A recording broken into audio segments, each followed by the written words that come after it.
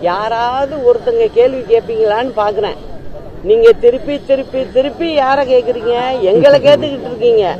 ஆனா உங்களுடைய டிவி எல்லாம் பொதுமக்கள் பார்க்கணும்னு நினைச்சீங்கனாக்க பொதுமக்கள் பிரச்சனைய யாராவது பேசுவீங்களான்னு பாக்குறேன். யாரும் பேச மாட்டேங்கிறீங்க.